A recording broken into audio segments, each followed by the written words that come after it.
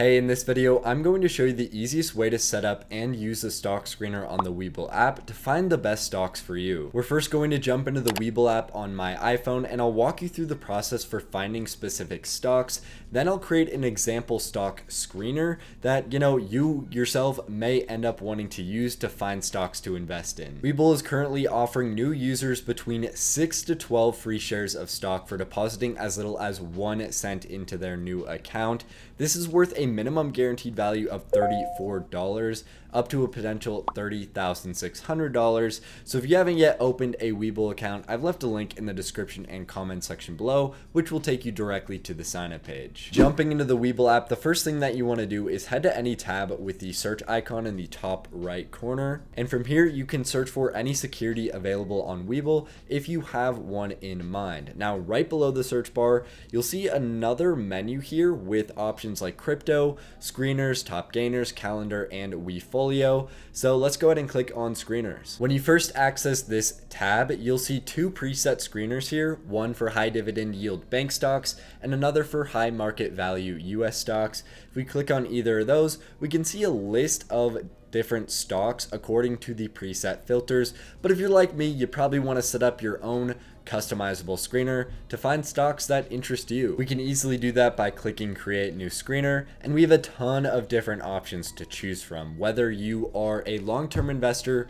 looking for value stocks to invest in where things like company financials are really important to you or maybe you're a swing or day trader where company financials are less important to you but indicators like percent change in extended hours or volume is a lot more important Webull has you covered with a ton of different options to choose from. So let's set up our own customized screener. I'm to filter for stock based on three qualities. First, it needs to have a mid to large market cap, so I'm to say anything greater than $10 billion. Second, it needs to have a total earnings per share over the past 12 months of $12 or more. And third, it needs to offer an annual dividend yield of 3% or greater. Under quotes indicator, we can see the market cap option, so I'm going to select that and I don't see a greater than $10 billion option that isn't capped at a maximum of like 100 billion. So I'm going to hit custom. I'm going to clear the maximum side and then enter 10 on the minimum side and click done. At this point, if we wanted to just filter based on this, we could see a total of 877 stocks that fit this criteria. Now that we have our first parameter dialed in, let's look for the annual dividend yield option. So under financial indicator, you'll see dividend yield. I'll click that and I don't see anything fitting my specific criteria. So I'm going to hit custom, change the percent to 3% for the minimum and clear the maximum. Done. And as you can see with our market cap and annual dividend yield, we can view a total result of 211 stocks. Lastly, let's get earnings per share dialed in. So I'm going to click EPS. I don't see greater than 12 here, so we're going to hit custom again, clear the max side, enter 12 on the minimum. And one thing to be aware of here is this is the total earnings per share over the last four quarters. So we're looking at an average quarterly EPS of $3. Clicking done, we can see that our search has narrowed massively from thousands of stocks to just 37.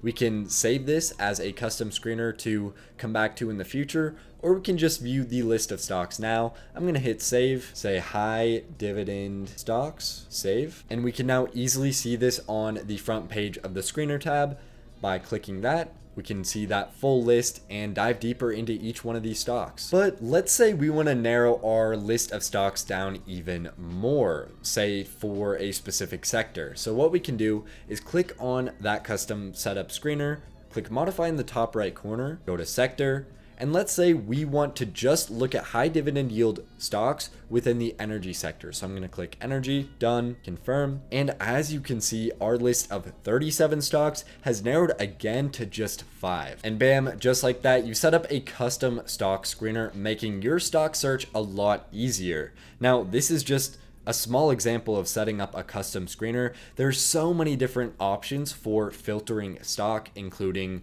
price to earnings, analyst ratings, and a ton of different technical indicators. There are also some really helpful features other than creating a custom screener that can help you look for specific stocks. So let's jump into that right now. Heading to the search bar, let's check out top gainers. Here we can view a list of stocks that have seen a percentage gain over specific time frames. So for example, during after hours, DMS stock has seen a 63% increase in share price.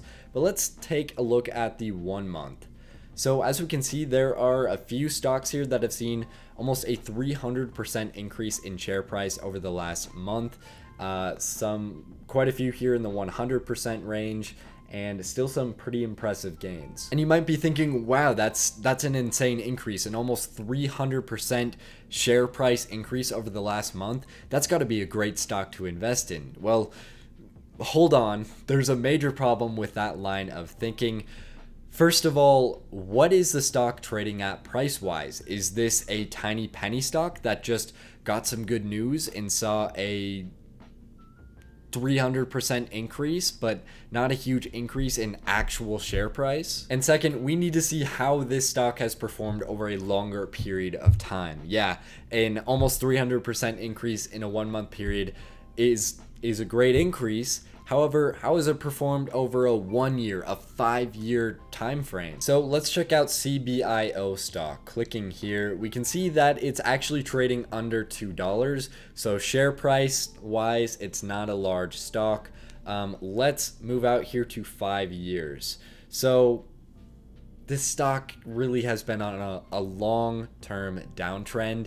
Uh, that almost 300% increase in share price experience over the last month really is not that impressive when you take a broader look at this stock. Moral of the story though, don't be fooled by a massive one month or three month percentage gain on a stock. There's always more to the story, so it's important that you actually dive deeper into what's going on with that stock and not simply buying just because wow that's a that's a big gain. I want to show you one more feature though before we wrap up and that's a calendar feature. This can assist in finding stocks to invest in because it shows you everything from upcoming earning dates, uh, ex-dividend and payout dates, and stock split news, which are all very important when deciding on and when to buy stock. You really won't want to forget to take advantage of those 6 to 12 free shares of stock if you haven't yet opened a new Webull brokerage account.